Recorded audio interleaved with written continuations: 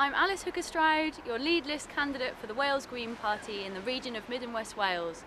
Vote Green on Grey this May.